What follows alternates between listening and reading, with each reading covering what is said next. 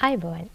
ජාතික පාසල විද්‍යාව වැඩස්ටහන මේ උදෑසන ඔබත් එක්ක බෙදා හදාගන්න අපට අවසර. දැන් කාලය ගත වෙද්දී ඔබට විභාගයට දින ලං වෙද්දී ඔබේ පාඩම් කරන්න තියෙනේ උනන්දුව උත්සාහය තව තවත් වැඩි වර්ධනය වෙද්දී ජාතික පාසල විද්‍යාව කණ්ඩායමත් ඔන්න ඔබ වෙනුවෙන් ඔබට අවැසි පාඩම් මාතෘකා සාකච්ඡා කරන්න සූදානම්. ඔබ දන්නවා දැන් අපි විද්‍යාව විෂය හදාරන දරුවෝ විදිහට ලෝකයේ දිහා බලනකොට සාමාන්‍යයෙන් විද්‍යාව නොදන්න කෙනෙක්ට වඩා දන්න කෙනෙක් ලෝකයේ දිහා විද්‍යාත්මක ඇසකින් බලන්න හැකියාව තිබෙනවානේ. යම් යම් දේවල් වල හේතුඵල විග්‍රහ කරගනිමින් මෙහෙම දෙයක් සිද්ධ වෙන්නේ ඇයි කියන කාරණය හඳුනා ගනිමින් අපිට පුළුවන් ලෝකයේ විවිධ විවිධ ක්‍රියාකාරකම් වලට හේතු සාධක හඳුනගන්න. අද අපි තෝරගත්ත පාඩම් මාතෘකාව ඇතුළෙත් ඔබට ලෝකයේත් එක්ක කතා කරන්න අපේ සුභාධර්මයත් එක්ක උදාහරණ සපය ගන්න අවස්ථා ඕන තරම් තියෙනවා. ඔබ දන්නවා විවිධ ශක්ති ආකාර තියෙනවනේ මේ ශක්ති ආකාර වලින් ඔබ ප්‍රයෝජනත් එදිනෙදා ජීවිතේදී ලබනවා. දැන් අපි අහලා තියෙන විද්‍යුත් ශක්තිය, චාලක ශක්තිය, විභව ශක්තිය, ඒත් එක්කම ධ්වනි ශක්තිය, චුම්බක ශක්තිය ආදී මේ ශක්ති ආකාර අතර විශේෂයෙන්ම තාප ශක්තියට හිමි වෙන්නේ සුවිශේෂ ස්ථානයක්. ඉතින් තාප ශක්තිය පිළිබඳව කතා කරද්දී අපි අද තෝරගත්ත පාඩම් මාතෘකාව වෙන්නේ තාප ප්‍රසාරණය හා තාප සංක්‍රමණය කියන මාතෘකාව. මේ මාතෘකාව ඔබට විස්තරාත්මකව පැහැදිලි කරලා දෙන්න අපේ සුපුරුදු ඇඳුරු මඩුල්ලේ අපේ ගුරු බෞතුන් දෙදෙනෙක් සූදානමින් ඉන්නවා. මිනුවන්ගොඩ පුරුල්ලපිටිය මහාවිද්‍යාලයේ විද්‍යා ආචාර්ය ගෝකුල සිරිවර්ධන ගුරුතුමන් ඉන්නවා අපිත් එක්ක. ඒත් එක්කම කඳාන ශාන්ත සෙබස්තියන් විද්‍යාලයේ විද්‍යා ආචාර්ය වසන්ත ගුණවර්ධන සර්ත් අපිත් එක්ක ඉද්දී අපි සූදානම් පාඩම් මාතෘකාව මුලින්ම ආරම්භ කරද්දී තාප ප්‍රසාරණය කියලා කියන්නේ මොකක්ද? මේ පිළිබඳව වටහාගෙන විග්‍රහ කරගෙන හඳුනගෙන අපි පාඩමට ප්‍රවේශයක් ලබා ගමු. වසන්ත සර්. ඔය ඇත්තටම මේ හොඳ ප්‍රවේශයක් අපිට ලැබුණේ මේ මේ දවස්වල දැන් මගේ දුවල පුතාලා ඊටාම ලහි ලහි ලැස් වෙනවනේ අප සාමාන්‍ය පෙළ විභාගයට. දැන් බොහොම කෙටි කාලයක් තියෙන. මේ කෙටි කාලය තුලදී අපි වැඩි අවධානයක් යොමු කරගන්න ඕනේ අපි කොහොමද විභාගෙදී ලකුණු ගන්න කියන එකට. මම හිතනවා ඒක හරි වැදගත් කාරණාවක්. මේ අපි අද කතා කරන මාතෘකාව අපේ සාමාන්‍ය ජීවිතයට ගොඩක් අදාළ පාඩමක් බව ඇත්ත. ඒක මේ දවස්වල වැඩි වැඩියෙන් අපි ලකුණු වැඩිපුර ගන්න තියෙන විශේෂ කොටස් පිළිබඳ වැඩි අවධානයක් යොමු කරගන්න ඕනේ. ඉතින් අද දවසේ අපි මේ මාතෘකාව තෝරගන්නෙත් ඔබට මේ ප්‍රශ්න පත්‍රයේදී වැඩි ලකුණු ප්‍රමාණයකට ලං වෙන්න බොහොම වැදගත් වන මාතෘකාවක් විදිහට තමයි අපි තාපය පිළිබඳ සාකච්ඡා කරන්නේ. දැන් ප්‍රබමගෙන් ඇහුවේ මේ තාපය ප්‍රසාරණය පිළිබඳ ප්‍රසාරණය කියන්නේ මොකක්ද කියන කාරණාව. දුවපතේ මතක තියාගන්න. සාමාන්‍යයෙන් අපි තාපය ලැබුවීම නිසා. සාමාන්‍ය අපි හඳුනන තාපය කියන්නේ ශක්තියන්නේ. මුලින් පෙරවදිනේදී හැඳින්නුවා ඒක. තාපය කියන්නේ ශක්තියක්. ශක්තිය ලැබුණාම ඕනම ද්‍රව්‍යයක් සෑදිලා තියෙන පරමාණු වලින් කියන කාරණාව දන්නවද ඔයාලා පුතාලා මේ පරමාණු වල චාලක ශක්තිය වැඩි වෙන්න ගන්නවා. චාලක ශක්තිය වැඩිවීම නිසා මේ චලන හැකියාවත් එක්ක අට් කරගන්න පරිමාව වැඩි වෙන්න ගන්නවා.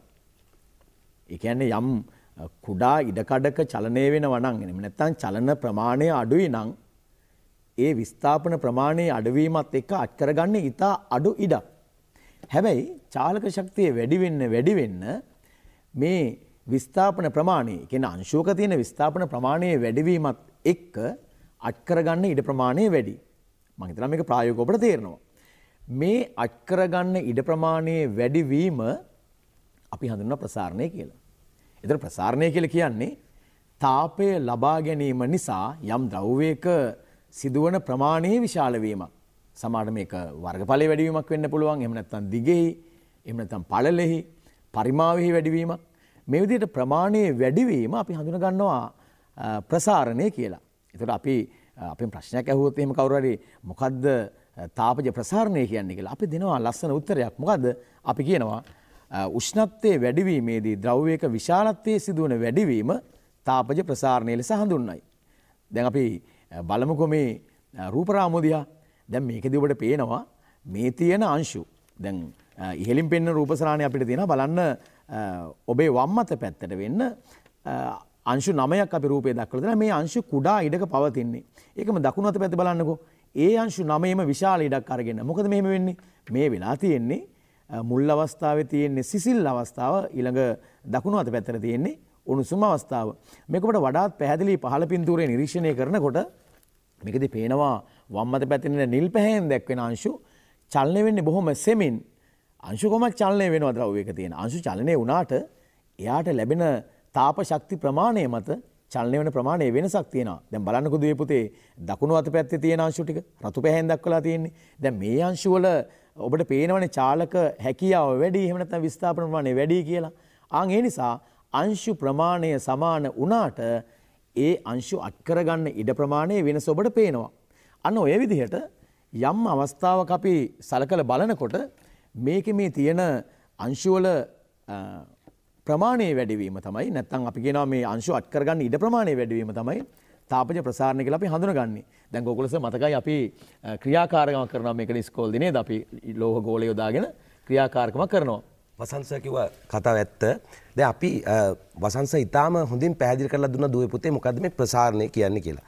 දැන් මටත් නිකන් උදාහරණයක් මතක් වුණා. ඔබ පන්ති කාමරේ ඉඳගෙන ඉන්නේ නැද්දි ඔබට ඒ ඉඳගෙන ඉන්න ඉඩ ප්‍රමාණය ප්‍රමාණවත් සමහරට පන්ති කාමරේ අපිට අඩි 20ක් අඩි 20ක් විතර පළල පන්ති කාමරයක ඔබට ඉඳගෙන ඉන්න පුළුවන්. හැබැයි ඔබේ පන්ති කාමරේ ඔබ දඟලන්න ගත්තොත් ඔබට මේ පන්ති කාමරේ ඉඩ මදි වෙනවා. ඒ වගේ වැඩක් තමයි මෙතෙන්දිත් වෙන්නේ. මේ අංශු අත් කරගන්න ඉඩ ප්‍රමාණය වැඩි වෙනවා තාප ශක්තිය ලැබීමත් එක්කලා. ඇත්තටම දැන් අපිට මෙතෙන්දි ගත්තාම අපිට පදාර්ථයේ අවස්ථා තුනක් ඔබ දකිනවා. ඝන අවස්ථාව දකිනවා, ද්‍රව අවස්ථාව දකිනවා, වායු අවස්ථාව දකිනවා. දැන් වසන්ත මගෙන් ඇහුවා අර ප්‍රසාරණයට උදාහරණයක් විදිහට මොකක්ද කියලා. දැන් අපිට මෙතෙන්දි ඉස්සෙල්ලාම මේ ගන්න තියෙන උදාහරණය තමයි අපිට ඝන ප්‍රසාරණය ගැන අපිට කතා කරද්දී ඔබටත් මතක ඇති ඔබේ පාසලේ තියෙන අර ලෝහ මුද්දක් සහ ලෝහ ගෝලයකින් හදපු පොඩි උපකරණ කට්ටලයක්. අපි යොමු වෙමු මේ වීඩියෝට එහෙම නැත්නම් රූපරාමුවට යොමු වෙලා බලමු මෙතෙන්දි දුවේ පුතේ මොකද්ද වෙන්නේ කියන එක. අපිට ඒ ඔන්න ඔබට බලන්න ඔතන තියෙනවා ලෝහ ගෝලයක් එල්ලලා. දැන් අපි ඔතෙන්නින් ඔය ලෝහ ගෝලය ලෝහ මුද්දුවකට ඉතා පහසුවෙන් ඇතුල් කරන්න පුළුවන් බව ඔබට පේනවා. දැන් ඉතාම හොඳින් පැහැදිලි එක දංවැලකින් එල්ලන ලද ලෝහ ගෝලය ඉතා පහසුවෙන් අර ලෝහ මුද්දුව තුලින් එහා මෙහා අපිට ඇතුල් කරන්න පුළුවන්. දැන් බලන්න ඒ ලෝහ ගෝලය පස්සේ අපි ගෑස් ලිපක් මත තියලා එහෙම නැත්නම් බන්සන් දැල්ලකින් අපිට රත් කරලා මේකේ චාලක ශක්තිය වැඩි කරනවා. එහෙම නැත්නම් තාප ශක්තිය ලැබුණම ප්‍රසාරණය වෙලා බලන්න ඔබට පේනවා දැන් මුද්ද ඉස්සෙල්ලා තිබුණට එහා මෙහා යෑම දැන් එහා මෙහා මුද්ද හරහා අර බෝලේ යන්නේ නැහැ. දැන් හේතුව මොකද්ද? ඔබට හොඳට පැහැදිලි අන්න දැන් ඒක සිසිල් වුණාම යම් ප්‍රමාණයක් සිසිල් වුණාම ඒ ගෝලය අර මුදුව තුලින් ගියා. ඒකට හේතුව ඔබට අර ඉස්සෙල්ලා කිව්ව කතන්දරෙම තමයි අපිට කියන්න වෙන්නේ. තාප ශක්තිය ලැබීමත් සමග අර ලෝහ ගෝලයේ ලෝහය එහෙම නැත්නම් එතන අපි තඹ හෝ යකඩ හෝ ඒ පරමාණු වල චාලක ශක්තිය ඉහළ ගියා. චාලක ශක්තිය ඉහළ ගියාම එයාගේ විස්ථාපන ප්‍රමාණය එහෙම නැත්නම් ඉඩ ප්‍රමාණය වැඩිපුර ඉඩ ප්‍රමාණයක් අත්කර ගැනීම නිසා ලෝහ ගෝලය අපේ ඇහැට පෙනුන්නේ නැති වුණාට යම් ප්‍රමාණයක් විශාල වුණා. ඉස්සෙල්ලා අර ලෝහ මුදුව තුලින් ඒ ලෝහ ගෝලය ගියාට රත් වුණාට පස්සේ ඒ ලෝහ මුදුව තුලින් ඒ ගෝලය ගියේ නැහැ. ඊටාම පැහැදිලි. ඔබට තවත් රසවත් එවැනි අවස්ථා කීපයක් අපිට උදාහරණ වශයෙන් දකින්න පුළුවන් දැන්. ඔබ දන්නවා අර කරත්තවල රෝදේ වටා තියෙනවා පට්ටමක් කියලා එකක්. මේ පට්ටම හදලා තියෙන්නේ යකඩ වලින් අර ලෝහේ කියන්නේ රෝදය ලී නිසා ඒ ලී වල ආරක්ෂාව රෝදේ ශවි ශක්තිය වැඩි කර ගැනීම සඳහා තමයි මේ පට්ටමක් යොදන්නේ. එතකොට මේ පට්ටමක් යොදන විදිය මේ ප්‍රසාරණය සම්බන්ධව අපිට සම්බන්ධ කරලා ගන්න පුළුවන්. අපි ඉස්සරහට බලමු මේ පට්ටමක් යොදන්නේ කොහොමද කියලා. මෙතෙන්දී ඔබට පෙන්වන්නේ කරත්තයක ලී රෝදේ වටා යොදන ලද අර ලෝහ පට්ටම. දැන් තවත් එවැනි අපිට ප්‍රායෝගිකව දකින්න හම්බෙන දෙයක් තමයි ඔබ දන්නවා රේල් පීලි අතර යම් හිදසක් තියලා තියෙනවා. ඔබ රේල් පීල්ලක් දිගේ ඇවිදගෙන යන විට සමහරට ඔබ දැකලත් ඇති මෙන්න මෙවැනි රේල් පීලි දෙකක් එකට හා කරලා එකට යා කරලා අපි තියන්නේ නැහැ. රේල් පීලි දෙකක් යම් ආකාරයක දුරක් පරතරයක් ඇතුව තමයි සාමාන්‍යයෙන් රේල් පීල්ල මත ඒ කියන්නේ රේල් අර සිල්පර කොට මත රේල් පිල්ලක් හයි කරලා තියන්නේ. ඇයි මෙහෙම තියන්නේ? ඔබ දන්නවා දැන් කිව්වා අපේ වසංස කිව්ව ප්‍රසාරණ සංසිද්ධිය මෙතෙන්දිත් බලපානවා. යම් ආකාරයකින් රේල් පිල්ල රත් වෙද්දී රේල් පිල්ල යම් ප්‍රමාණයක් දිගින් වැඩිවීමක් සිද්ධ වෙනවා. බැරි වෙලා හරි දුවේ පුතේ මේ රේල් පිල්ල දෙක මේ ආකාරයට ලං කළාම තිබ්බා නම් මොකද වෙන්නේ? රේල් පිලි රාශියක් රේල් පිල්ල තියෙනවා. එතකොට හැම එකම ලං වෙන්න ප්‍රසාරණය වෙනුවොත් එහෙම දිග වැඩි වෙලා මේ රේල් පිලි යම්කිසි ඇදවීමකට ලක් වෙයි. එහෙම ඇදවුනොත් එහෙම අපිට සමහරට රේල් පීල්ලේ යන කෝච්චි පෙරලිලා අනතුරු වලටත් ලක් වෙනවා. ඉතින් තවත් එවැනි ප්‍රායෝගික අවස්ථාවක් තමයි ඔබ දකින්නේ.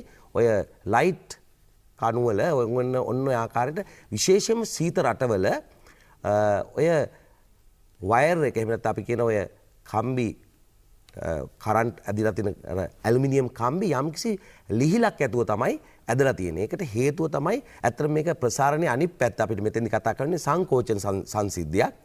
මෙතෙන්දි වෙන්නේ සීත රටවල ඔබ දන්නවා යම් කාලවල අයිස් මිදෙනවා. එවැනි තත්ත්වවලදී මේ තන්තුවක් වගේ මේක ඉතාම තදට ඇදලා තිබුණොත් මේ ඇලුමිනියම් ලෝහ කම්බිය යම්කිසි ආකාරයක සංකෝචනයක් වුණොත් එම සීතල නිසා ඒතකොට චාලක ශක්තිය අඩු වෙනවා. චාලක ශක්තිය අඩු වෙනවා කියන්නේ ලෝහ අංශු ලං වෙනවා. එතකොට තා මේ ලෝහ කම්බි කැඩීමකට ලක් වෙන්නත් පුළුවන්. එහෙනම් යම්කිසි ලිහිලක් ඇතුව තමයි ප්‍රායෝගිකව සීත රටවල විශේෂයෙන්ම ওই කරන්ට් වයර් ඇදලා තියෙන්නේ. ලංකාවේ ඔබ දැකලා තියෙනවා සමහරවිට මේක දවල් වෙද්දී අපේ තියෙන කම්බි යම්කිසි ආකාරකින් පාත් වීමක් දකින්න හම්බ වෙනවා අපේ රටවල් ටිකක් උණුසුම් රටවල් නිසා. ඔබ මේ සියල්ල එකට කැටි කරගත්ත ලස්සන රූප රාමුවකට යොමු වෙන්න පුළුවන්. මෙතෙන්දී අපිට ඔබ ඔය අපි කතා කරපු රූප වලින් කතා කරපු දේවල් ඉතා හොඳින් නරඹන්න පුළුවන්. අපි බලමු ඒ අතරතුර අපි කතා කරමු මොනවද කියලා. මෙතන ඔබට පැහැදිලිව පේනවා රේල් පීල්ලක් ඈත් කරලා තියලා තියෙනවා. නමුත් බලන්න ඔකට තාප ශක්තිය ලැබෙද්දී රේල් පීල්ල යම් කිසි ප්‍රසාරණයක් වෙලා දිගින් වැඩිවීමක් වෙලා ඔබට පේනවා ඒ පරතරයේ යම් ආකාරකින් අඩුවීමක් දකිනවා. මේ රේල් පීල්ල මත රේල් පීල්ල මත ඔන්න නැවතත් ඔබට බලන්න පුළුවන් මේ දර්ශනය. රේල් පීල්ල ඔන්න ඔය ආකාරයට ලංවීමක් වෙනවා. මොකද මේ සිද්ධිය වෙන්නේ රේල් පීල්ලට තාපය ලැබිලා රේල් පීල්ලේ අංශු යම්සි ආකාරකින් විස්ථාපනය වැඩි කරගෙන චාලක ශක්තිය වැඩි කරගෙන ප්‍රසාරණයට ලක්වන නිසා තමයි ওই සිද්ධිය. එහෙම ලං කරලා තිබුණොත් මෙතනින් පෙන්වන්නේ රේල් අනතුරක් වෙච්ච අවස්ථාවක් ඔබ දැක්කේ. මෙතන පෙන්වනවා කරත්තේ කර පට්ටම යොදන අවස්ථාව ලී වලින් සාදන ලද රෝදේ වටා ලෝහ පට්ටමක් විශේෂයෙන්ම යකඩ පට්ටමක් තමයි යොදන්නේ. බලන්න මේකෙදී මේ රේල් පීලේ සංසිද්ධිය මෙතෙන්ට ප්‍රයෝජනයට ගන්න ආකාරය. මෙහිදී හදාගන්න ලෝහ පට්ටමේ විස්කම්බයත් රෝදේ විස්කම්බයත් ගත්තාම රෝදේ විස්කම්බයට වඩා පට්ටමේ විස්කම්බේ යම් ආකාරකින් චුට්ටක් කුඩයි. බලන්න එක ගිනි ගොඩකට දාලා ඊටසේ ඉතාම හොඳින් රක්ත තප්ත වෙන තත්වයටම හොඳින් රත් කරනවා. එතකොට ලෝහ අංශු නැත්නම් යකඩ අංශු වල චාලක ශක්තිය වැඩි වෙලා අන්න ප්‍රසාරණ වීමක් වුණා. ඒක අපි පට්ටමට ඊටසේ පට්ටම විදිහට පාවිච්චි කරලා රෝදෙට වටේට දානවා. දාලා සිසිල් කරනවා ජලය දාලා. එතකොට සංකෝචනය වෙලා ඉතා හොඳින් රෝදයට සවි වෙනවා මේ පට්ටම. එතකොට රෝදයක් සවි ශක්තිය වැඩි ගෙවීමත් අඩු වෙනවා. නැත්නම් ඔබ දන්නවා මේක ලී රෝදයක් ලී රෝදේ වටා යකඩ පට්ටමක් තියේදී ගෙවීම පවා අඩු වෙනවා. මෙන්න මේවා ඉතා හොඳින් අපිට දකින්න දැන් ඇත්තටම අපි කරත්ත භාවිතය අඩු නිසා අපිට මෙවැනි අවස්ථා දකින්න අඩුයි. දැන් මෙතන පෙන්වන්නේ ඔබ අර අපි ඉස්සෙල්ලා කතා කරපු තාපය සමග ලෝහ කම්බි වල ප්‍රසාරණ අවස්ථාව තමයි ඔබ දකින්නේ. දැන් තාපය ලැබීමත් එක්කලා ලෝහ කම්බියේ ප්‍රසාරණය වැඩි වෙලා ඒක දිගින් වැඩි වෙන අවස්ථාවක් ඔබට දකින්න හම් වෙනවා. යම් ආකාරකින් පාත් වීමක් ඔබට නිරීක්ෂණය කරන්න පුළුවන්. එහිදී දිග වැඩිවීමත් එක්කලා. මෙන්න මෙවැනි ඊටාම ප්‍රායෝගික අවස්ථාවකට මේ ප්‍රසාරණයත් එක්කලා අපිට නිරීක්ෂණය කරන්න පුළුවන් ඔබ මේ පරිසරයේ නිරීක්ෂණය කළොත්. දැන් තාප ප්‍රසාරණයේ විවිධ අවස්ථාවන් දැන් ගෝකුලස කිව්වා වගේ ඒ වීඩියෝ දර්ශනයත් එක්ක ඔබට පැහැදිලි කරගන්න හැකියාව ලැබුණා. දැන් මේ ආකාරයේ තවත් යෙදීම් අපිට එදිනදා ජීවිතයේ භාවිතයන්දී අපි ප්‍රයෝජනෙට ගන්න අවස්ථාත් තියෙනවා. වසන්තස අපිට ඒ ගැන පැහැදිලි කරන්න පුළුවන් නේද? ඔව් ඇත්තටම දැන් ඔය අපේ ගෝකුලස ප්‍රකාශ කරේ යෙදීම් කිහිපයක්. දැන් මේ වගේ තවත් අපි එදිනදා ජීවිතයේ යොදා ගන්න අවස්ථාවන් අපිට හම් වෙනවා. දැන් බොහෝ විට ඔබ හිතන්නකෝ දැන් බෝතලයක මෝඩියක් තද වෙලා තිනවා. අපි වීදුරු බෝතලයක ලෝහ මෝඩියක් සම්බන්ධ කරලා තියෙන මේ ලෝහ මෝඩිය ඉතා තදින් සම්බන්ධ වෙලා තියෙනවා. දැන් මේක අපිට ගලව ගන්න අපහසුයි. ගොඩක් හිරට තියෙන්නේ. දැන් ඒ වගේ අවස්ථාවක අපිට යොදන්න පුළුවන් ප්‍රායෝගික උදාහරණයක් තමයි ප්‍රායෝගික යෙදීමක් තමයි මේක මෝඩිය ටිකක් අපි රත් කරනවා. මෝඩිය රත් කරාම මෝඩිය ප්‍රසාරණය වෙනවා. දැන් වීදුරුත් යම් ප්‍රමාණයක රත් වෙනවා. හැබැයි මෙතෙන්දී ඔබට තේරෙනවා ලෝහ මෝඩිය සාපේක්ෂ ප්‍රසාරණ ප්‍රමාණය වැඩි. ඒ නිසා වීදුරු බෝතලේ කටත් එක්ක සාපේක්ෂව බලනකොට මූඩිය වැඩි ප්‍රමාණයක් ප්‍රසාරණය වෙන හින්දා පහසුවෙන් මේ මූඩිය ගලවා ගැනීම යම් හැකියාවක් ලැබෙන්න ගන්නවා. හැබැයි දෙවිපුතේ හොඳට මතක තියාගන්න ඕන මේක දැන් මේ ප්‍රායෝගික යෙදීම්නේ. මේක කරනකොට මේ ගිනි ඇවිලෙන සුළු ද්‍රවයක් තියෙන බෝතලයක් වගේ. ඒක හොඳ අවධාරණයක් තියාගන්න ඕන දෙයක්. ගිනි ඇවිලෙන සුළු බෝතලයක් වගේ එකක් විවෘත කරන වෙලාවට මේ වගේ දෙයක් කරන එක තරම් යෝග්‍ය නැහැ. හොඳ ඒ වගේම තමයි අපි තවත් ප්‍රායෝගිකව යොදා ගන්න අවස්ථාවක් තියෙනවා දුවේ පුතේ ඔබ දන්නවා දැන් හිතන්නකෝ අපි වීදුරු අසුරා තබනකොට. සමහරට වීදුරු අසුරා තබනවා එක වීදුරුවක් තුල තව වීදුරුවක් තියෙන විදිහට. මේදුර වීදුරු එකිනෙක අසුරනවා මේවා එකට තද වෙන්න. හැබැයි මෙහෙම අසුරපුවාම සමහරට මේ වීදුරු ගලව ගන්න බෑ හිර වෙලා තියෙන්නේ. දැන් මේ වගේ අවස්ථාවකත් මේවා වෙන් කරන්න අපි උණුසුම් කිරීමක් සිද්ධ කරන අවස්ථා තියෙනවා. මේ පහුගිය අප සාමාන්‍ය පෙළ ප්‍රශ්න පත්‍රයක අපූර්ව ප්‍රශ්නයක් තිබුණානේ. මේ ප්‍රශ්නේ තිබුණා වීදුරු දෙකක් එකිනෙකට හොඳින් තදවනසේ සම්බන්ධ වී ඇත. මේ වීදුරු වෙන් කර ගැනීම සඳහා යොදාගත හැකි පියවර වන්නේ. ඒකේ පිළිතුරු දීලා තිබුණා එක පිළිතුරක් තිබුණා. බාහිර වීදුරුව උණුසුම් බඳුනක තබා ඇතුළෙහි වීදුරුවට සිසිල් ජලය දැමීම. තව එකක් තිබුණා බාහිර ජල මේ වීදුරුව සිසිල් ජලයෙහි යොදා ඇතුළත වීදුරුවට උණුසුම් ජලය දැමීම. ඉතින් මේ වගේ විවිධ පිළිතුරුත් එක්ක බලන්න මේ සංසන්ධනාත්මකව මේ පිළිතුර අපි බලනකොට අපිට තේරෙනවා දැන් මේ වීදුරුව වෙන් කර ගන්න නම් ඇතුළත වීදුරුව සංකෝචනය විය යුතුයි එළිය වීදුරුව ප්‍රසාරණය විය යුතුයි. ඔබට ඒක පැහැදිලිව තේරෙනවනේ. එහෙම නැත්නම් පිටත වීදුරුව සංකෝචනය වෙලා ඇතුළත වීදුරුව ප්‍රසාරණය වුණොත් මේක තවත් හිර වෙන එක නෙවෙන්නේ. ඒ නිසා මෙතෙන්දී අපි ඇතුළත වීදුරුවට සිසිල් ජලය යොදලා පිටත වීදුරුව උණුසුම් ජල බඳුනක තියෙනවා. එතකොට පිටත වීදුරුව ක්‍රමයෙන් ප්‍රසාරණයට ලක් වෙනවා. ඇතුළත වීදුරුව සංකෝචනයට ලක් වෙන නිසා මේක පහසුවෙන් වෙන් කරගන්න පුළුවන්. පුතේ මේ ප්‍රශ්නය සම්පූර්ණයෙන්ම යොමු වෙලා තියුනේ මෙන්න මේ කොටසට. ඒ කියන්නේ තාප ප්‍රසාරණය කියන කොටසත් එක්ක. මේක අපේ ප්‍රායෝගික යෙදීමක් වගේම අපේ නිතර ප්‍රශ්න පත්‍ර වල තියෙන කොටසක් වෙනවා. ඊළඟට තව අපි නිවෙස්වලදී බහුලවම භාවිතා කරන ප්‍රායෝගික යෙදීමක් තියෙනවා. මේ තමයි විදුලි ස්ථිරික්කය. දැන් බලන්න දුවේ පුතේ අපි විදුලි ස්ථිරික්කය සලකපුවාම මේ විදුලි ස්ථිරික්කවල අපි තාපය ලබා ගන්නේ ඒ තුල තියෙන නික්‍රෝම් වගේ ප්‍රතිරෝධය අධික තඹකම්බි දඟරයක් රච් කර ගැනීම තමයි මේ රච් කර ගැනීම සිද්ධ කරන්නේ. ඒතර මේ විදුලිය ගමන් කරද්දී ස්වයංක්‍රීයව අපිට තාපයට අනුකූලව මේ විදුලි ධාරාව ඇති නැති කිරීම එහෙම නැත්නම් විසන්ධි කර ගැනීමක් අවශ්‍ය වෙනවා තාපය පාලනය කර ගැනීම සඳහා. අපි මේවට කියන තාප පාලක කියලා. තාපය පාලනය කර ගැනීමට යොදා ගන්න උපක්‍රම. ඉතින් මේ එක උපක්‍රමයක් තමයි අපි පාවිච්චි කරන දීලෝහ පටිය කියන උපකරණය. දීලෝහ පටිය. දැන් බලන්නකෝ මේ රූපරාමුවේ අපිට තියෙනවා දීලෝහ පටියක්. ඔය උඩ ඇණයක් සම්බන්ධ කරලා තියෙන තැන තියෙන දීලෝහ පටිය. මේ දීලෝහ පටිය හොඳින් නිරීක්ෂණය කරාම ඔබට පේනවා දීලෝහ පටිය සකස් වෙලා තියෙන්නේ ලෝහ දෙකකින්. ඒ කියන්නේ එකිනෙකට හොඳින් මිටියම් කරගත්තා. අපි කියන මිටියම් කරගන්නවා කියලා. මිටියම් කරගන්නවා කියන එකේ තේරුම අපි රිවර්ට් කරනවා කියලා කියන්නේ ඊටා තදින් සම්බන්ධ කරගන්නවා. ඒ කියන්නේ මේක ගැලවිලා වින්වියා නොහැකි විදිහට මේක ඉතා හොඳින් අපි සම්බන්ධ කරනවා. දැන් බලන්න මේ ඊළඟ රූපරාමුවේ අපි වඩාත් පැහැදිලිව මේක නිරීක්ෂණය කරනවා. ඔබට පේනවා ඉහළින් සහ පහළින් මම වර්ණ දෙකකින් මේක දක්වනවා ඔබට ඉහළින් රතු වර්ණයෙන් සහ පහළින් නිල් වර්ණයෙන් මේ දක්වලා තියෙන්නේ අදාළ ලෝහ දෙක.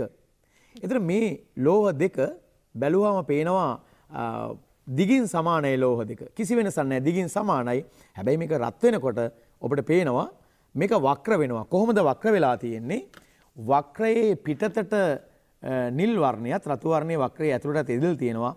මේකෙදී මේ වක්‍රය වක්‍රයේ පිටතින් තියෙන්නේ. ඒ වක්වීමේ පිටතින් තියෙන්නේ ප්‍රසාරණයෙන් වැඩි ලෝහය. එතකොට ප්‍රසාරණයෙන් වැඩි ලෝහය වක්‍රයේ පිටතට හිටින විදිහටත් ප්‍රසාරණයෙන් අඩු ලෝහය වක්‍රයේ ඇතුළට හිටින විදිහටත් තමයි මේක ප්‍රසාරණයට ලක් වෙන්න ගන්නේ. ඉතින් මෙතෙන් දුවේ පුතේ හොඳට විමසලා බලන්න මේ රූපසරණත් එක්ක අර විදුලි සැපයුම් පරිපතය බිඳ වැටීමක් සිද්ධ වෙනවා නෙමෙතෙන්දී. මේ බිඳ වැටීම එක්ක තව දුරටත් ධාරාව මේ හරහා ගමන් කිරීමක් සිද්ධ වෙන්නේ නැහැ.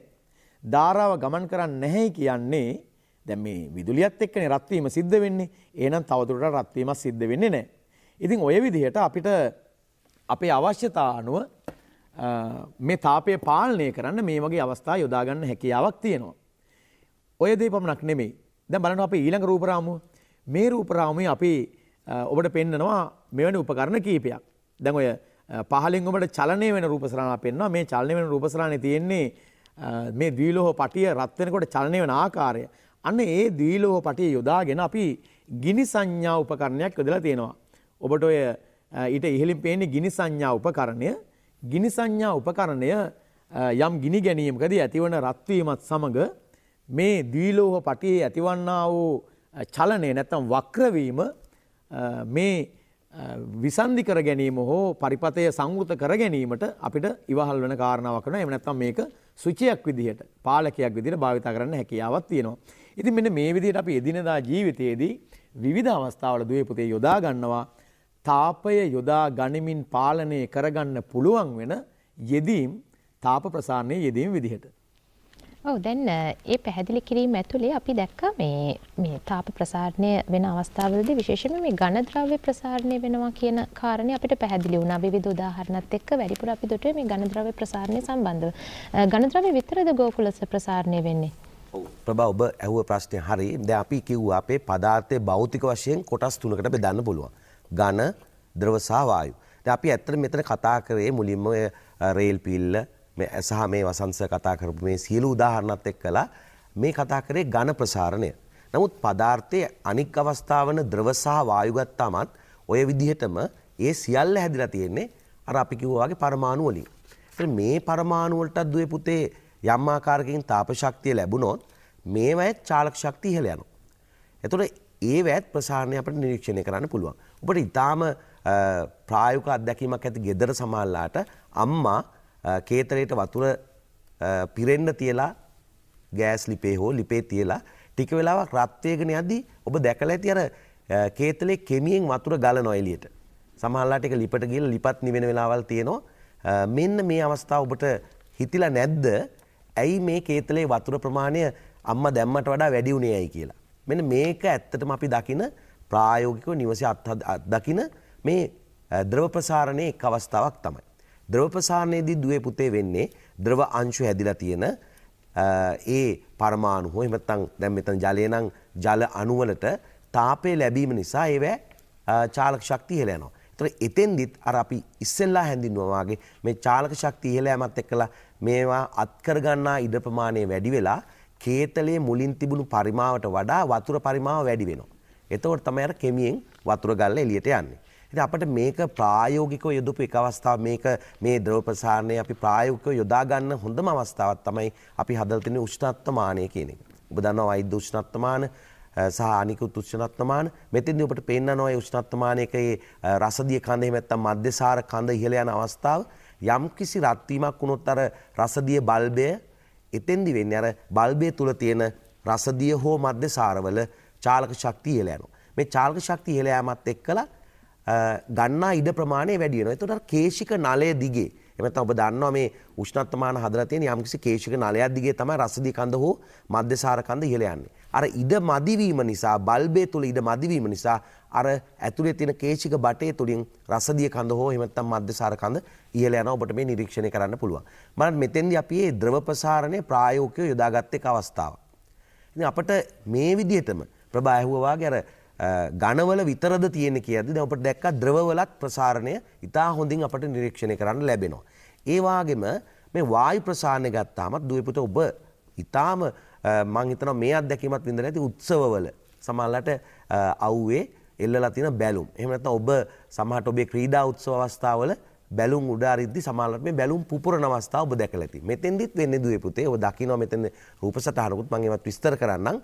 මෙතෙන්දිත් වෙන්නේ අර බැලුම තුල තියෙන වායු අංශුවලට එහෙම නැත්නම් වායු පරමාණු වලට බාහිර පරිසරයෙන් තාපය ලැබීම නිසා විශේෂම හිරු එළිය ලැබිලා තමයි එතෙන්දි වෙන්නේ. අර ගන්න ඉඩ අත් කරගන්න ඉඩ ප්‍රමාණය වැඩි වෙලා බැලුමේ විශාලත්වය වැඩි වෙලා බැලුම පුපුරනවා. මෙතන ඔබ රූප රාමුවෙන් දකින්නේ ඒක අපි ලැබ් එකක කොහොමද කරන්නේ කියලා මෙතන තියෙන අර බෝතලයකට බැලුමක් යොදලා තියෙනවා අර කටට බැලුමක් හිර කරලා තියෙනවා. එතෙන්දී අර ඇල් වතුරේ තියලා තිබිලා බැලුමක් ඒක උණු වතුර එහෙම නැත්නම් සිසිල් වතුර තිබිලා ඒක උණු වතුරෙන් තිබ්බම උණු වතුරේ තියෙන තාපය නිසා අර වායු අංශුල ප්‍රසාරණය වෙලා එහෙම නැත්නම් ඒකේ චාලක ශක්තිය වැඩි වෙලා ගන්නා ඉඩ ප්‍රමාණය වැඩි වුණ නිසා තමයි අර බැලුම පිම්බිලා තියෙන්නේ.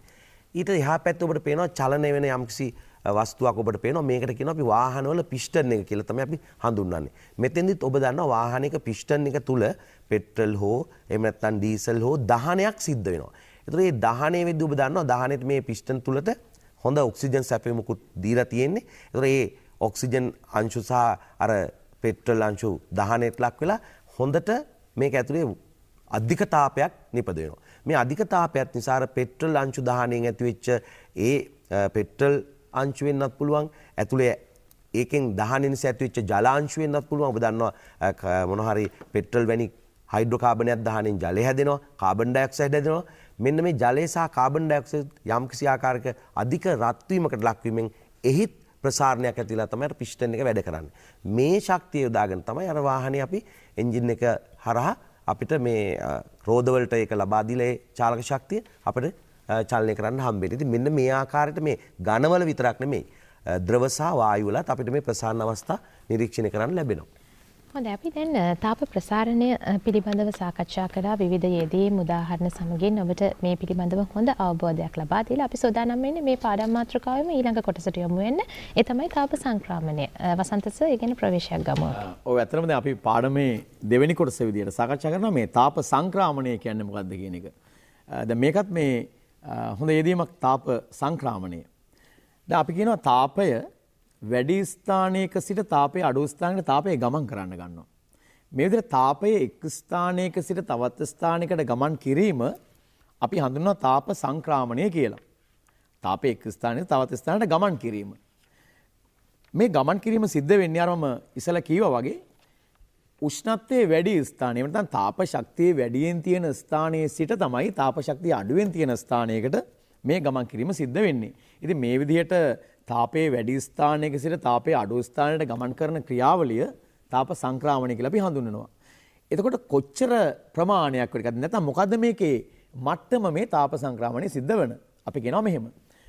යම් උණුසුම් වස්තුවක සිට සිසිල් ස්ථානයේ වෙතට අවස්ථා දෙකේ නැත්නම් අදාළ ස්ථාන දෙකේ තාප ප්‍රමාණය සමතුලිත වන තුරු අපි මේකට කියනවා තාපජ සමතුලිතතාව.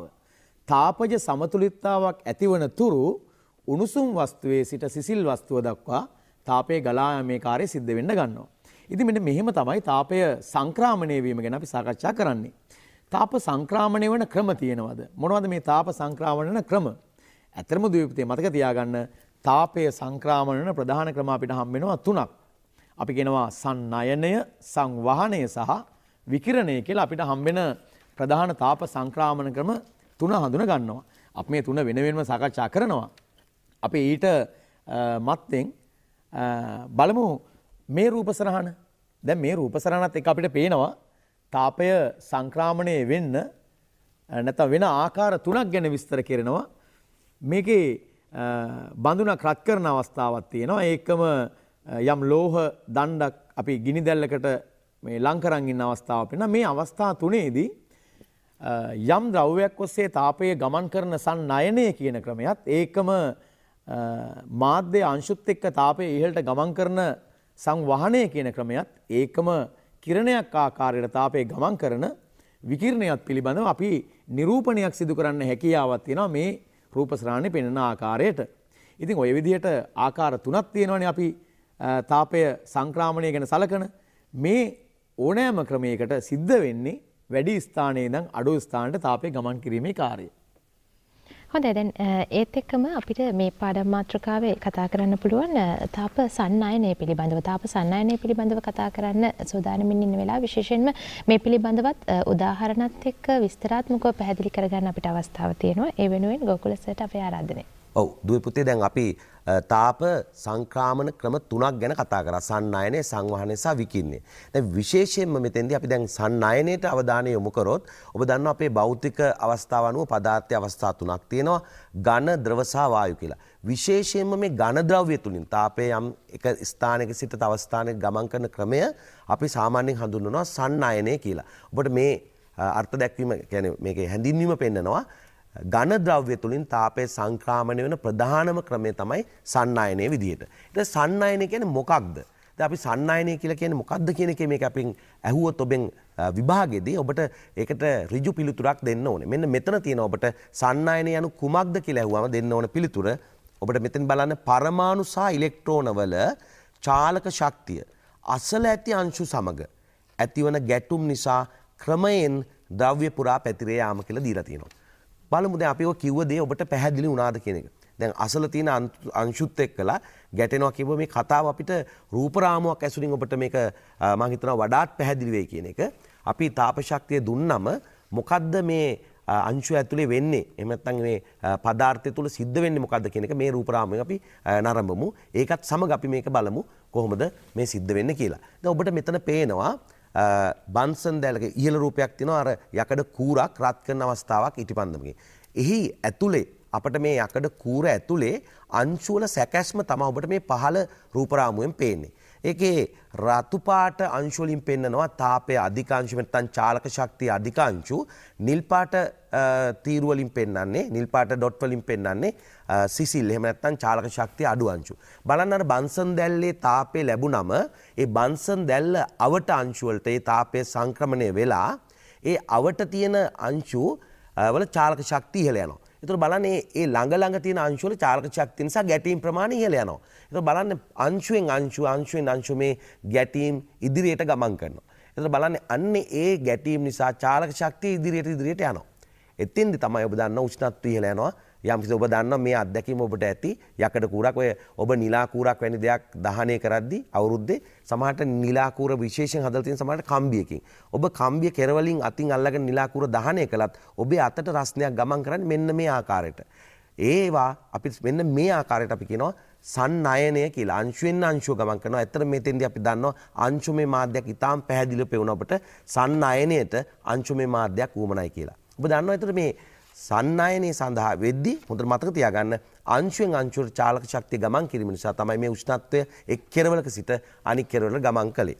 ඊට අමතරව තාපය හොඳින් ගමන් කරන ද්‍රව්‍යත් ඔබ දන්නවා වීදුරු වැනි සමහරලාට රබර් වැනි ලී වැනි ද්‍රව්‍ය තුලින් තාපය ගමන් කරන්නේ නැහැ කියලාත් ඔබ දන්නවා. ඒතර අපි බලමු මේ තාපය ගමන් කරන ද්‍රව්‍ය සහ ගමන් නොකරන ද්‍රව්‍ය ගැනත් පොඩි හැඳින්වීමක් ඔබට ඔතන පෙන්න රූප රාමයෙන් තාපය හොඳින් ගමන් කරන එහෙම නැත්නම් සන්නායන කරන ද්‍රව්‍යයට අපි කියනවා තාප සුසන්නායක විදිහට උදාහරණ විදිහට ඔබට දකින්න හම්බෙනවා රිදී, තඹ, යකඩ, රසදිය, ඇලුමිනියම්. ඇත්තටම බලන්න මෙතන ඔබට හම්බෙන්නේ සියල්ල ඝන ද්‍රව්‍ය. ඇත්තටම ඒකත් විතරක් නෙමේ විශේෂයෙන්ම ලෝහ සියල්ලගෙම වාගේ තාපය සංක්‍රමණය වෙන ක්‍රමය තමයි ඔය අපි කිව්ව සන්නායනය ක්‍රමය. ඊට අමතරව ඔබ දන්න ඔබට හම්බෙන මේ හොඳින් ගමන් නොකරන ද්‍රව්‍ය. ඒවට අපි කියනවා තාපය හොඳින් සන්නායනය සිදු නොකරන ද්‍රව්‍ය වලට තාප කුසන්නායක කියන නම භාවිතා කරනවා. අපිට මේ අපේ පරිසරය දකින්න හම්බෙන ලී, ප්ලාස්ටික්, ඇස්බෙස්ටෝස්, මැටි ලෝම ඊට අමතරව ඔබ දන්නවා වීදුරු. වීදුරු වලින් ඔබ දන්නවා සමහරට පාසලේදී වීදුරු කූරු රත් කරලත් ඇති එක පැත්තක් රත් කරලා රක්ත තප්ත වුණත් අනිත් පැත්තෙන් අපිට ඉතා පහසුවෙන් අල්ලගෙන ඉන්න පුළුවන්. වීදුරු තුලින් තාපය සන්නයන කිරීම ඉතාම අඩුවෙන් තමයි සිද්ධ වෙන්නේ. මෙන්න මේ වගේ දේවල් බලන්න පුළුවන්. ඒතර වසංශ තවත් අපිට මේ වගේ දේවල් මේ ප්‍රායෝගික ලෝකයේ තුල මේ සන්නයන එය වැනි දේවල් අපිට අත්දකින්න හම්බ වෙනව නේද? ඔබට බාන්න අපි විස්තර කරන්නකො එවැනි අවස්ථා කිහිපයක් ඇත්තම ගොකුරුස අපි මේ එදිනෙදා පරිසරයේදී මේක අත්විඳින අවස්ථාවන් දැන් බොහෝ විට ඔබ අහලා තියෙනවා දුවේ පුතේ මේ රොබින් කුරුල්ලාගේ කතාව. රොබින් කුරුල්ලා සීත කලාපික රටවල ජීවත් වෙන්නේ. රොබින් කුරුල්ලාට දේහ උෂ්ණත්වය ආරක්ෂා කරගන්න වෙනවා. මොකද රොබින් කුරුල්ලා කියන්නේ පක්ෂියෙක් නේද? ආවේස්කාණ්ඩයේ එක ලක්ෂණයක් තමයි අපි කියනවා මේ අචලතාපී බව. අචලතාපී කියලා කියන්නේ ශරීර උෂ්ණත්වය පරිසර උෂ්ණත්වය එක්ක වෙනස් වෙන්නේ නැතුව පවත්වා ගන්න ඕනේ. මේ උෂ්ණත්වය පවත්වා ගැනීම සඳහා යොදන එක උපක්‍රමයක් තමයි උෂ්ණත්වය අඩු වෙනකොට නැත්තම් පරිසරයේ සිසිල් වෙනකොට ශරීරයේ තියෙන මේ පිහාටු පිම්බීමක් සිද්ධ කරන්න ගන්නවා. රොබින් කුරුල්ලා පිහාටු පුම්බනවා. රොබින් කුරුල්ලා පිහාටු පුම්බන්න ගත්තහම මේ සම සහ මේ රෝමවල නැත්තම් මේ තියෙන පිහාටු වල ඉහළ මට්ටම අතර වායු ස්තරයක් හැදෙනවා. වාතය කියන්නේ ගෝකුලසර ප්‍රකාශ කරා වගේ ඊටා දුර්වල තාප සන්නායකයක්. ඒ නිසා ශරීරයේ තාපය පහසුවෙන් ඉවත් වී යාමක් සිද්ධ වෙන්නේ නැහැ. රොබින් කුරුල්ලාගේ දර්ශනය ඔබ මේ නිරීක්ෂණය කරන බලන්න රොබින් කුරුල්ලා පිහාටු පිම්බීමක් සිද්ධ කරනවා. ඔබට පේනවා ඊටාම අලංකාරවත් විදියට රොබින් කුරුල්ලා මේ පිහාටු පිම්බීම සිද්ධ කරනකොට හැම සහ ඒ රෝමත් එක්ක මේ ඒ පිහාටුත් එක්ක ඇතිවන්නා වූ වායු ස්තරය තාප පරිවාරකයක් විදිහට ක්‍රියා කරන හින්දා තාපය පහසුවෙන් එළියට පිට වෙලා යන්නේ නැහැ. අන්න ඒ නිසා උෂ්ණත්වය ආරක්ෂා කරගන්න මේක ඊටාම වැදගත් වෙන අවස්ථාවක් වෙනවා. සීල් මත්ස්‍යයා ශරීරය තුළ තියෙනවා හමට යටින් මේද ස්තරයක්. මේ මේද ස්තරය ඔබ දන්නවා මේදේ කියන්නේ තාපේ ආරක්ෂා කරන උපකාර වන්නා වූ සංඝටකයක්නේ. ඒතර මේ ඝන මේද ස්තරය නිසා ශරීරයේ තාපය පිටවී යාම බොහෝ සෙයින් අඩු වෙනවා. ඒ නිසා සීල් මත්ස්‍යයට තාපය ආරක්ෂා කර ගැනීමේ හැකියාවක් මේකත් එක්ක ලැබිලා තියෙනවා. ඒ විතරක් නෙවෙයි දරුවනේ ඔබ දන්නවා මැමේලියා එහෙම නැත්නම් ශීරපායෙන් අපිත් ඔය වගේ අනුවර්තනයක් තියෙනවානේ. අපි තාපයේ සමස්ථිතිය ගැන කතා කරද්දී මේක කතා කරනවා. ශරීරයේ තියෙන රෝම සීතල වෙලාවට රෝම රුජුවීමක් සිද්ධ වෙනවා. එතකොට හැමේ ඉඳන් රෝම රුජු වුණාම මේ සම සහ රෝමත් සමග ලොකු වායු ස්තරයක් ඒ අතර ඇතිවෙන්න ගන්නවා මෙතෙන්දිත් මේ වායු ස්තරයේ තියෙන තාප පරිවාරක බවත් එක්ක නැතන් තාප කුසන්නායක බවත් එක්ක තාපය පිටවී යාම අඩුවීමක් සිද්ධ වෙන්න ගන්නවා. ඉතින් මෙන්න මේ වගේ විවිධ ප්‍රායෝගිකයේදීම අපිට පරිසරයේදී අත්දකින්න පුළුවන් තාප සන්නයනයත් එක්ක. විද්‍යාව මේ සබාධර්මයත් එක්ක ගලපගද්දිත් හරි රසවත් අපූර්ව අත්දැකීමක්. ඉතින් අර විද්‍යාව කියන විෂය අපහසු විෂයක් කියනවට වඩා මට හිතෙනවා ප්‍රායෝගික ජීවිතයත් එක්ක සබාධර්මයත් එක්ක ගලපගත්තාම බොහොම පහසු විෂයක් විදිහට අපිට හඳුන ගන්න සාකච්ඡා කරන්න පුළුවන්. දැන් අපි තාප සංක්‍රමණ ක්‍රමයක් පිළිබඳව කතා කරලා අපිට පුළුවන් ඊළඟට කතා කරන්න තවත් තාප සංක්‍රමණ ක්‍රමයක්. ඒ තමයි සංවහනය. ගෝකුලස. ඔව්. දැන් දුවේ පුතෝ ඔබ සන්නයනය පිළිබඳව ඉතා හොඳ ප්‍රායෝගික අත්දැකීම් එක්කලා මේක අධ්‍යයනය කළා. දැන් අපි බලමු දෙවන තාප සංක්‍රාමන ක්‍රමයේ විදිහට අපි සලකන සංවහනය කියන එක. දැන් මේ සංවහනයේදී වෙන්නේ විශේෂයෙන්ම ඇත්තටම වායු සහ ද්‍රව තුල අපිට අත්දකින්න හම්බෙන තාප සංක්‍රාමන ක්‍රමය තමයි මේ සංවහනය කියන ක්‍රමය. ඇත්තට මෙහිදීත් ඔබට ඉස්සෙල්ලා මම කිව්වා සන්නයනයේ සඳහාත් අංශුමය මාධ්‍යයක් අත්‍යවශ්‍යයි කියලා. මට මෙතෙන්දිත් කියන්න වෙනවා සංවහනය සඳහාත් අංශුමය මාධ්‍යයක් අපිට අත්‍යවශ්‍ය වෙනවා.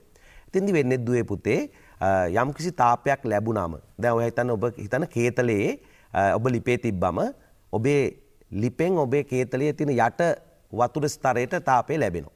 ඒ ලැබුණම මේ යට වතුර ස්තරයේ තියෙන අංශු ඝනත්වයේ අඩුවීමක් වෙනවා මොකද ප්‍රසාරණය වැඩි වෙන නිසා. ඔබට ඉස්සෙල්ලා කිව්වා ප්‍රසාරණය වැඩි වෙනවා කියලා. ප්‍රසාරණය වැඩි වෙනවා තාපයත් සමග. ඉතින් ප්‍රසාරණය වීමත් එක්කලා ඝනත්වය අඩු වෙනවා.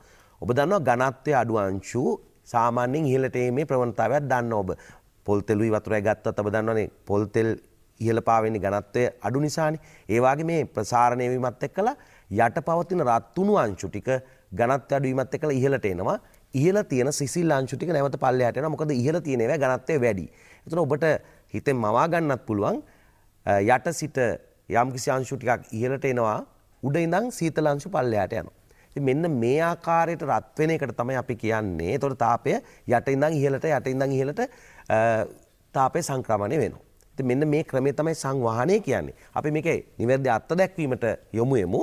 ඔබට මෙතෙන්දි දර්ශනය වෙනවා ද්‍රව හෝ වායු වලට. එතෙන්දි මම කිව්වා ද්‍රව හෝ වායු වලට තාපය සපයන විට ඒවා ප්‍රසාරණය වීම නිසා ඝනත්වය අඩු වී ඉහළට ගමන් කරන අතර ඒ කියන්නේ යට ඉඳන් ඉහළට යනවා. එම අඩුව පිරවීමට උෂ්ණත්වය අඩු ද්‍රව හෝ වායු හෝ පහලට ගමන් කර ඉහළ ඉඳම් පල්ලෙහාට යනවා අර ගණත්වයෙන් වැඩි අංශු. මෙම ක්‍රියාවලිය නිසා තාපය සැපීම සිදුවන ප්‍රදේශයේ සිට තාපය ඉහළට සංක්‍රාමණය වේ. තාපය ඉහළට යනවා සිසිල් අංශු පහලට එනවා. මෙම මෙය සංවහනය ලෙස හැඳින්වේ. ඔබට මෙය අර්ථ දැක්වීම විදිහට පාඩම් කරගන්න පුළුවන්. ඉතින් අපි බලමු මේ සංවහනයේ යම්කිසි අවස්ථාවක් අපිට ප්‍රායෝගිකව දකින්න හම්බෙන ඔබ බලමු මේ රූප රාමුවත් එක්කලා ඔබට මේ දර්ශනයත් එක්කලා නෑ සංවහන ධාරාවක් කියන්නේ මොකක්ද කියන එකත් අපි යොමු වෙලා බලමු. සංවහන ධාරාවක් කියන්නේ ඔතෙන්දි මෙන්න මේ අර්ථ දැක්වීමක් විදිහට ඔබට දකින්න පුළුවන්. රත් වී ඉහළ යන අංශු ධාරාවලට අපි කියනවා සංවහන ධාරා කියලා. ඒතකොට අපි දැන් කියවනේ අර යට ඉඳන් ඉහළට යනවා කියලා ජලාංශු යන්න පුළුවන්. එහෙම නැත්නම් වාතාංශු යන්න පුළුවන්. එහෙම යන අංශු ධාරාවට තමයි කියන්නේ සංවහන ධාරාවක් කියලා. ඉතින් අපි බලමු මේ සංවහන ධාරා නිසා සිද්ධ වෙන දේවල් විදිහට ඔබ දැකලත් ඇති ඔය සමහරවිට කාමරවල තියෙන වීදුරු හැරමේ අතරේ පොඩි ජල බිඳිද්ද දකින්න හම්බ වෙනවා. ඔබ දකින්න සමහරලාට මේ කාමරයක් වහලා තියෙද්දි ඒ ජනෙල් වීදුරු වල ජලාංශු දකින්න හම්බ වෙනවා. මෙතෙන්දි වෙලා තියෙන මොකද්ද කියලා ඔබට කාමරයේ දර්ශනයෙන් පේනවා. ඒ කියන්නේ ඉහළින් එන තාපය නිසා සමහරට වීදුරුව ප්‍රදේශයෙන් එනවා අපිට ආලෝකය එනවා. ආලෝකයත් සමග සූර්යාගෙන් එන තාපය නිසා ඇතුළ රත් වෙද්දී අර යට තියෙන වායු අංශු ඉහළට ගමන් කරනවා. ඒ වායු අංශු වල රැඳිලා තියෙන ජල බිඳිතය වීදුරුවේ තැම්පත් වෙනවා. නැවත සිසිල් අංශු පල්ලෙහාට ගමන් කරනවා. මෙහා පැත්තේ තියෙන වලාකුළු හැදෙන ආකාරය. පොළවට තාපය ලැබීම නිසා පොළවේ අංශු රත් වෙලා ජල අංශු රත් වෙලා ඉහළට ගමන් කරන දර්ශනයක් තමයි සංවහන ධාරාවක් තමයි ඔබට පෙන්වන්නේ. අර වලාකුළු හැදෙද්දි වලාකුළු වලට කොහොමද ඔය පොළවේ තියෙන වතුර යන්නේ කියන ආකාරය ඔබට බලන්න බලන්න පුළුවන් මෙතන. එතෙන්දිත් එතන වලාකුළු සෑදීම සඳහා නම් සංවහන ධාරා ආකාරයට තමයි පොළවේ තියෙන ජල අංශු ඉහළට ගමන් කරන්නේ. මෙතන තවත් ඔබට ලස්සන දර්ශනයක් බලන්න පුළුවන්. ඒක ඔබට මෙන්න මෙතෙන්දි වෙන්නේ තාපය ලැබීම නිසා. ඔන්න බලන්න ඔබ ලස්සන රූණෙක් රූම් පෙත්තක් වගේ එකක් දකින්න පුළුවන්. මෙතෙන්දි ඉටිපන්දමක් තියලා තිනවා පල්ලෙහායින්. එතකොට ඒ ඉටිපන්දමේ රස්නය නිසා අවට තියෙන වාතය ප්‍රසාරණය වෙලා ඉහළ නගිනවා. එතකොට සංවහන ධාරාවක් ඇති වෙනවා. පැත්ත අපට නොපෙනුනාට කුඩා සුළං පාරක් වගේ එකක් ඇති වෙනවා. ඒ සුළම් පාරේ ආධාරයෙන් නැත්නම් සංවහන ධාරා ආධාරයෙන් තමයි ඔබට ওই පේන රූම් පෙත්ත කැරකෙන්නේ. ඔබට මේනම් ප්‍රායෝගිකව අත්දැකලා ඇති ගහක් යට ගිනි ගොඩක් ගැහුවාම ඔබ දැකලා ඇති ගහේ කොළ හෙලවෙනවා ඉහළ තියෙන අතුවල. ඉතින් මෙන්න මෙතෙන්දිත් වෙන්නේ අර රත් ගිනි ගොඩ නිසා අවට වාතය රත් වෙලා ඒ රත් වෙච්ච වාතය ඉහළ යනවා. එතකොට තමයි අර සංවහන ධාරා ඇති වෙන්නේ. සංවහන ධාරාවල ප්‍රතිඵලයක් විදිහට තමයි අර ශාකවල අතු හෙලවීම නැත්නම් කොළ හෙලවීමත් සිද්ධ වෙන්නේ. ඊට අමතරව ඔබට මේ අපි මේ හීටර එක දර්ශනයක් පෙන්වනවා. මෙතෙන්දී ඇත්තට මේ වෙන්නේ ඔය අපි හීටරයක් මේ සාමාන්‍යයෙන් දාන්නේ ඔබ දන්නවා ජල බඳුනේ යටට. එතකොට මේ තාපන දඟරේ තාපන දඟරයෙන් ඇතිවෙන තාපය නිසා ඔබ දැකලා ඇති යට ඉඳන් වායු බුබුලු උඩට එන අවස්ථාව. මෙන්න මෙතෙන්දිත් ඔබට නිරීක්ෂණය කරන්න පුළුවන් ඒ සංවහන ධාරා එතෙන්දි වෙන්නේ අර ඒ යට තියෙන වාතය රත් වීම නිසා ඇතුලේ යට ඉඳන් ඉහළට තාපය ගමන් කරන ඒගේ දර්ශනය තමයි අපි කියන්නේ සංවහන ධාරාවක් ඇති වෙන අවස්ථාවක් තමයි ඔබට එතෙන්දිත් දකින්න හම්බෙන්නේ. ඒතර ඔබ දැන් මේ වෙද්දි සන්නයනය සහ සංවහනය කියන තාප සංක්‍රාමන දෙකම දැනගත්තා. ඊට අමතරව ඔබට තවත් දේවල් අපිට කතා කරන්න තියෙනවා. හොඳ දැන් ඒත් එක්කම වසන්තස මේ සුලන් නැති වෙන්නත් මේ තාපය බලපානවද? ඇත්තටම මේ දැන් සුලන් ඇතිවීම කියලා අපි හඳුන්වන්නේ යම් ස්ථානයක් රත් වුණාට පස්සේ එම ස්ථානයේ තියෙන වාතය අර ගොකුලස ප්‍රකාශ කලා වගේ ඝනත්වයටලා ඉහළට ගමන් කරනවානේ. මේ ගමන් කිරීමත් එක්ක එම ප්‍රදේශයේ ඇතිවන පීඩනයේ අඩුවීම නිසා අවට වාතය මේ දෙසට ගමන් කර ගමන් කිරීමත් තමයි ඇත්තටම අපි හඳුනගන්නේ සුළං ඇතිවීමක් කියලා. මේ සුළං ඇතිවීම අපි විස්තර කරනවා ප්‍රධානාකාර දෙකක් යටතේ. එකක් තමයි මුහුදු සුළං අනික ගොඩ සුළං. දැන් මේ මුහුදු සුළං ඇතිවීමේදී බලන්න මේ දර්ශනයත් එක්ක අපි කතා කරමු. දිවා කාලයට සූර්ය තාපය නිසා මේ ගොඩිම සහ මුහුද කියන දෙකම රත් වෙනවා. හැබැයි දුවේ පුතේ විශිෂ්ට තාපධාරිතාව අඩු ගොඩබිම වඩා ඉක්මනට රත් වෙන්න ගන්නවා. මේ රත් වීම නිසා ඒ අසල තියෙන වාතය සංවහන ධාරාව විදිහට ඉහළට ගමන් කරනවා. මේ නිසා මුහුද දෙසට ගොඩවිම දෙසට වායු ධාරා ගමන් කරන්න ගන්නවා. මේකට අපි කියනවා මුහුදු සුළං කියලා. දැන් ඔබ මේකදී නිරීක්ෂණය කරනවා මේ තියෙන රුවල් නැව් ටික ගොඩවිම දෙසට එනවා ඒ හුදුලන් ධාරාවේ බලපෑමත් එක්ක. ඒතර මුහුදු සුළං ඇති වෙන්නේ දිවා කාලයේදී. ඒතර මේක මතක තියාගන්න ඕනේ මුහුදු සුළං ඇති වෙන්නේ දිවා කාලයේදී කියන කාරණාව. ඒ වගේම තමයි රාත්‍රී කාලයේ වෙනකොට.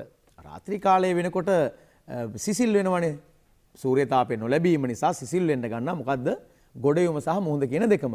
මෙතෙන්දි දුවේ පුතේ මතක තියාගන්න විශිෂ්ට තාපධාරිතාව වැඩි මුහුද සිසිල් වෙන්නේ හිමින්.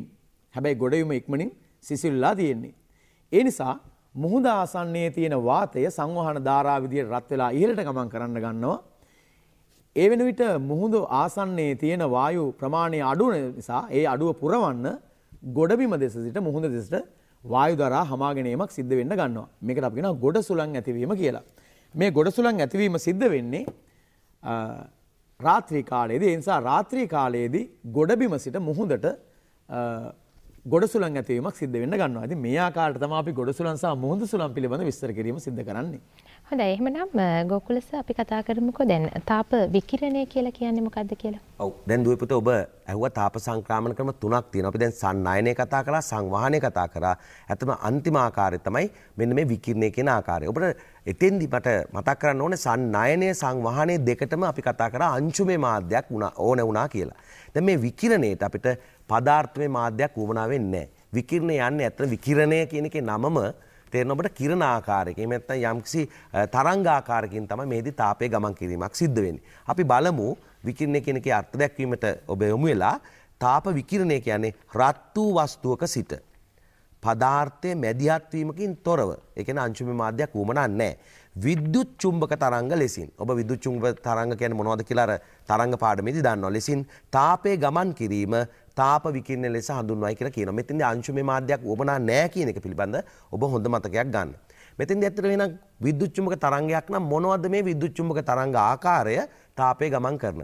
ඔබ අහලා තියෙනවා අදෝරක්ත විකිරණය ගැන. මේ අදෝරක්ත විකිරණ ආකාරය තමයි යම් තැනක ඉඳන් විකිරණ තාපය ගමන් කරන්නේ. අපිට රූප සටහනකිනුත් ඒක බලන්න පුළුවන්.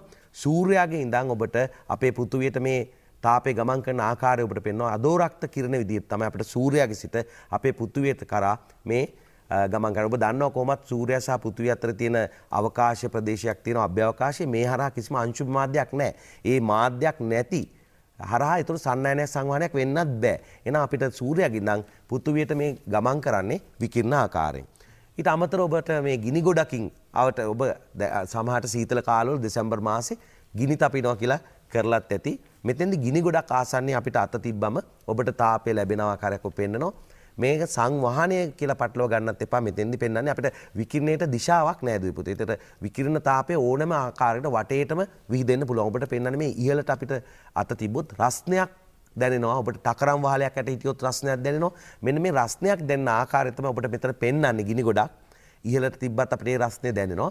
අනික් රූප සටහනෙන් ඔබට දකින්න පුළුවන් අපි ගිනි ගොඩක් අවට හිටියත් අපිට මෙන්න මේ ආකාරයට රස්නය දැනෙනවා කියලා අපි කියන්නේ මෙන්න මේ ආකාරයට රස්නය දැනීම අපි සාමාන්‍යයෙන් හඳුන්වනවා විකිරණය විදිහට. දැන් ඔබ දන්නවා ටකරම් වහලයක් අටින් නැද්දි රස්නයක් දැනෙනවා. මෙන්න මේ තාපේ ගමන් කරන ආකාරය තමයි විකිරණය විදිහට අපිට හඳුන්වන්නේ. ඔබ AC බස් වල යද්දි එහෙම දැකලා ඇති අර අඳුරු කරලා තියෙනවා AC මේ මේ බස් වල එහෙම නැත්නම් AC වාහන වල වීදුරුව. ඒ අර විකිරණ තාපේ එහෙම වළක්වන්නේ නැත්නම් අපිට එහෙම නැත්නම් ශීත බව පවත්වාගෙන යන්න බැරුව වෙනවා වාහනේ ඇතුලේ. මොකද විකිරණ තාපේ ඇතුල් වුණොත්. ඊට අමතරව වසන්ස අපිට මේකේ තවත් මොනවද මේ යම්කිසි පෘෂ්ඨ මතත් රඳා පවතිනව නේද මේ විකිරණේ බලපෑම. ඕක කොටස ඇත්තටම අපි මේ පොඩි ක්‍රියාකාරක මුත් ඉස්කෝලේදී කරනවානේ මේකට. දැන් සාමාන්‍යයෙන් අපි කියනවා මේ අඳුරු පෘෂ්ඨ අඳුරු රළු පෘෂ්ඨ කළු රළු පෘෂ්ඨ තාපය විකිරණයේ විදිහට අවශෝෂණය කරන ප්‍රමාණය වැඩි සුමට සුමුදු නැත්තම් එහෙම නැත්තම් සුදු පාට පෘෂ්ඨ වලට සාපේක්ෂව. ඒ කියන්නේ සුදු පාට පෘෂ්ඨ වැඩි වැඩියෙන් තාපය අවශෝෂණය කරගන්නවා මේ වැඩි වැඩියෙන් තාපය පරාවර්තනය කරනවා කළු පෘෂ්ඨ වැඩි වැඩියෙන් තාපය අවශෝෂණය කරනවා. දැන් බලන්නකො මේ ක්‍රියාකාරකම මේ ක්‍රියාකාරකමෙන්ද අපිට පැහැදිලිව පේනවා අපි බඳුන් තුනක් යොදාගෙන මේ බඳුන් තුනට භාවිතා කරන උෂ්ණත්වමාන තුනක් මේ බඳුන් තුන හොඳින් සූර්ය තාපය ලැබෙන ස්ථානයක තියලා තියෙනවා. එක බඳුනක් තියෙනවා කළු පෘෂ්ඨයක් සහිත බඳුනක් තව එකක් තියෙනවා සුදු පෘෂ්ඨයක් සහිත බඳුනක් තව එකක් තියෙනවා දිලිසෙන පෘෂ්ඨයක් සහිත බඳුනක්. දැන් මේකෙදි උෂ්ණත්ව අගයන් අපි බැලුවොත් කොහොමද වෙනස් වෙන්නේ කියලා අපි මේක හොඳට සූර්ය තාපය ලැබෙන්න තිබ්බහම පේනවා කළු බඳුනේහි නැත්නම් කළු පෘෂ්ඨයක් සහිත බඳුනේහි උෂ්ණත්වමාන පාඨාංකේ නැත්නම් අගය වඩාත් ඉහළ අගයට ගමන් කරන්න ගන්නවා. හැබැයි සුදු පෘෂ්ඨයේ තරමක් ඉහළට ගමන් කරනවා දිලිසෙන පෘෂ්ඨයක් සහිත බඳුනේ ගමන් කරන ඉතාම සුළු ප්‍රමාණයක්. මොකද මේකෙන් තහවුරු වෙන්නේ කළු පෘෂ්ඨ වැඩියෙන් තාපය අවශෝෂණය කරනවා හැබැයි සුදු පෘෂ්ඨ අවශෝෂණය කරන්න ඉතා අඩුවෙන් දිලිසෙන පෘෂ්ඨ පරාවර්තනය තමයි වැඩියෙන් කරන්න කියන කාරණාව. ඒ වගේම දුවේ පුතේ ඔය ක්‍රිකට් තරඟවලදී සුදු ඇඳුම් අඳින සංසිද්ධිය මේකත් අපිට මේ වගේම යොදා ගන්න තියෙන අවස්ථාවක්. ඒ සුදු ඇඳුම් අඳීම තුලින් විකිරණතාපය අවශෝෂණය අඩු කිරීමක් බලාපොරොත්තු වෙනවා. ඒ වගේම උණුසුම් බෝතලය, උණුසුම් බෝතලයේ අභ්‍යන්තරය දිලිසෙන පෘෂ්ඨයක් යොදලා තියෙන්නේත් විකිරණයෙන් තාපය ඉවත් වීම වැළැක්වීමට. මේ වගේ බොහෝ යෙදීම් ඔබටත් ප්‍රායෝගික පරිසරය තුළදී අත්දකින්න පුළුවන් වේවි. තාපය විකිරණයෙන් ආරක්ෂා කරන්න මොන වගේ දේවල්ද කරන්න පුළුවන් කියන කාරණාව සම්බන්ධව. හොඳයි අපි අද තාප ප්‍රසාරණය හා තාප සංක්‍රමණය කියන පාඩම් මාතෘකාව සාකච්ඡා කළේ උදාහරණ ඒත් එක්කම ඔබට ස්වභාවික පරිසරයෙන් හඳුන ගන්න පුළුවන් විවිධ සාධක අවස්ථා හඳුන්වා දෙමින් මේ පාඩම බොහොම හොඳින් අපි සාකච්ඡා කළා. ඉතින් ඔබ විභාගයට මුහුණ දෙද්දී මේ විෂය කරුණු උපයෝගී කරගන්න කියන මතක් කිරීමත් එක්ක ජාතික පාසල විද්‍යා වැඩසටහනට අද සම්ප්‍රදායකත්වය ලබා දුන් මිනුවන්ගොඩ බුරුල්ලපිටිය මහාවිද්‍යාලයේ විද්‍යා ආචාර්ය ගෝකුල සිරිවර්ධන ගුරුතුමන්ටත් කඳාන ශාන්ත සෙබස්තියන් විද්‍යාලයේ විද්‍යා ආචාර්ය වසන්ත ගුණවර්ධන ගුරුතුමන්ටත් අපි ස්තුතිය පිරිනමමින් නමමින් අපි සූදානම් අදට ජාතික පාසල විද්‍යාව වැඩසටහනෙන් සමගෙන යන ප්‍රාර්ථනය කරන ඔබට යහපත් දවසක්. අයිබෝවන්